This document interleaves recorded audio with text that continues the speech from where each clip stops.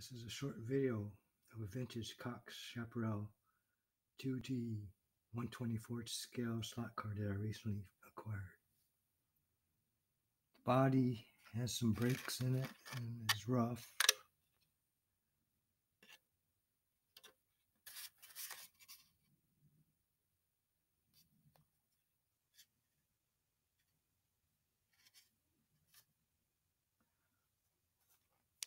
Chassis is in decent condition and it runs as I will be showing. Came with some uh, decals and uh, instructions. So let me hook it up.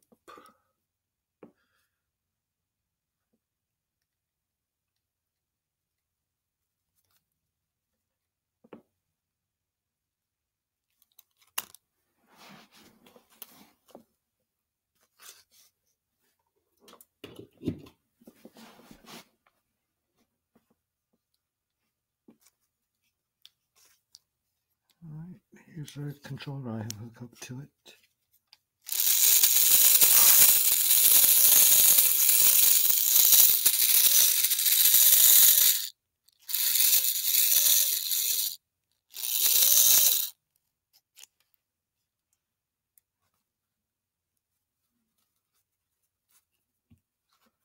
Alright, you can see it functions pretty good and smooth.